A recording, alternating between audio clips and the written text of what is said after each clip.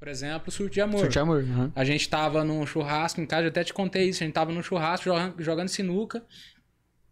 E aí eles tinham começado, o Davi, se eu não me engano, Que é seu e o irmão. Normani, Davi que é meu irmão, o Normani tinha co- começado isso é, na casa do, do Gustavo, Daniel, Gustavo, que era do Fred Sim, Gustavo. E aí levou essa ideia pra gente. Lá a gente é, cantaram um trecho lá e eu tive na hora uma, uma ideia pra continuar essa, essa ideia inicial deles. E acabou que a gente parou um pouquinho, tava ali um grupo de cinco, a gente terminamos a música ligeiro. cara. Ali estavam cinco mesmo. Cinco ou cinco. Então terminamos a música ali rápido. Então é assim, não foi planejado. E, e planejado a gente não faz. Ah, vamos juntar Vem cinco que pessoas. compor. Não, cinco. Planejado é sempre no máximo três. é, estourando quatro, assim, Uhum. entendeu? Cara, já que você tocou no, no assunto do surto de amor, eu quero tá- pegar um gancho. É, tem, tem uma coisa que eu até tinha levantado quando eu fiz o vídeo sobre ela, e eu achei que era só uma percepção minha, e eu vi que é uma percepção geral, de uma galera mesmo, de que a surto de amor tem uma viagem e tem uma viagem muito maior. A primeira viagem, que é a que eu cheguei a pensar antes, que é por que, que eu acho que surto de amor é uma festa de casamento? Primeiro ponto. O segundo, muita gente acha que a Surto de Amor é a continuação da convite de casamento do Jean Giovanni. Aham. Acho que essa segunda opção a gente pode descartar logo de cara, né? Depende, né? Eu acho que depende, cara, porque assim, ó, composição, o que que é composição, cara? O que que é a composição? A composição é um momento de inspiração de uma pessoa que tem o dom de juntar um monte de palavras é, é, e transformar isso em uma música, uma melodia aleatória e transformar numa música. Da onde que vem essa melodia aleatória? Da onde que vem essas palavras? Uhum. De tudo que você consumiu ao longo da sua vida. Aham. Então tá tudo aqui, ó. O que, que é o feeling? É você acessando numa velocidade é, extremamente alta todo o seu acervo de, de coisas que você consumiu ao longo da vida. Esse é o feeling. Essa... Ok, mas então, vocês- assim, talvez, talvez, sim, eu- é uma música que eu adoro. Então, talvez meu subconsciente tenha buscado isso, Sim. ou tenha. Então, Mas não conscientemente consciente, não foi. Não, foi consciente. Ok. Mas eu já parei pra, pra ouvir. Eu já parei pra ouvir e tem. Já me falaram isso. Aham. Te- Tem uma certa lógica por aí. Tem, não- porque não O não convite de casamento, o cara recebeu o convite pra ir no casamento e era o grande amor da vida da pessoa que tava Seria- mandando pra ele. Um plot legal, né? Então, você entendeu? É.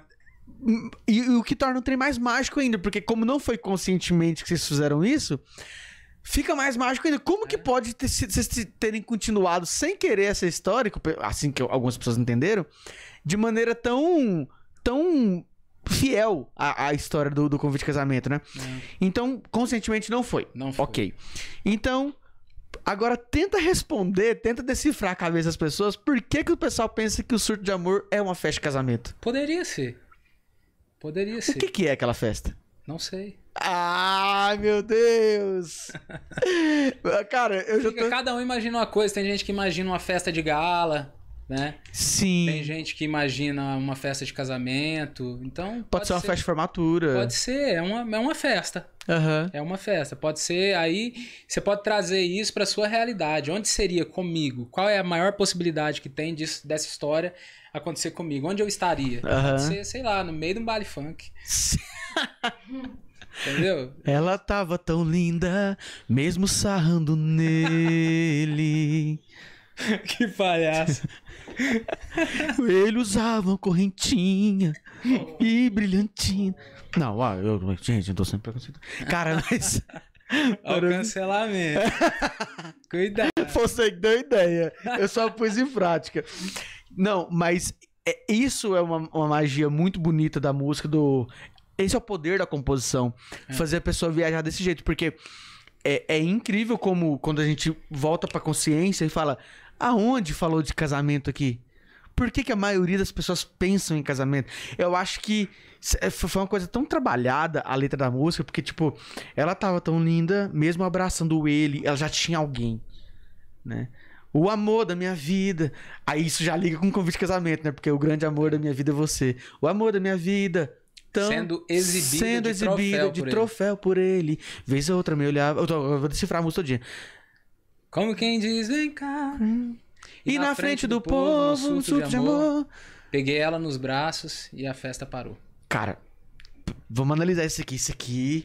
Você sabe que a gente foi É um citada- cara essa muito- música foi citada num livro e esse livro tá- é, está sendo usado é, como é que é provérbios provérbios de alguma coisa é um livro sobre provérbios é, contemporâneos é, puta cara eu não, eu não vou lembrar que está sendo usado até por faculdade assim esse, esse livro. E essa música é citada. Com qual intuito, assim? é, a frase é, é isso de queixo caído, para exemplificar como as frases, essas frases é, é, que o povo cria, Aham. elas são, elas se incorporam à cultura do, do, do, do nosso país, sabe? Uhum. Nas, nas diferentes regiões do país. Uhum. Al- Alguma coisa assim, o livro. Esses dias eu, ta- eu tava até é, é, por conta daquele, daquela matéria que, até você participou também na, na Folha, na Folha de São Paulo Certo. que fala sobre os 10 melhores álbuns do, do sertanejo, né? Uhum. Que, que a gente participou. Aí eu fui ler aquilo lá.